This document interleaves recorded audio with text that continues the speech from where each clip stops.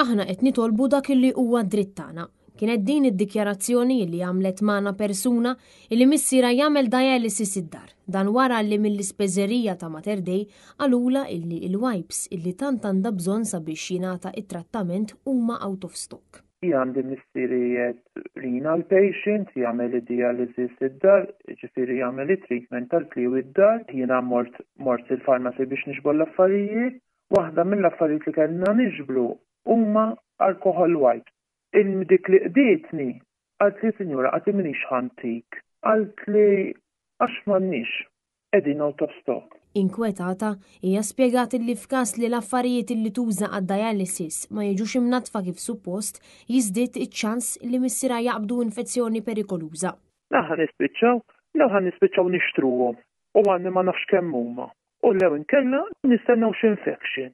Nidħlu l-isptar u noqogħdu ġejjin u sejrin mill-isptar. Aħna wasalna f'dan l-istat jiġifieri lanqas alcohol wipes għandna dritt għalihom u ma nieħduhomx. Le ma nieħduhomx.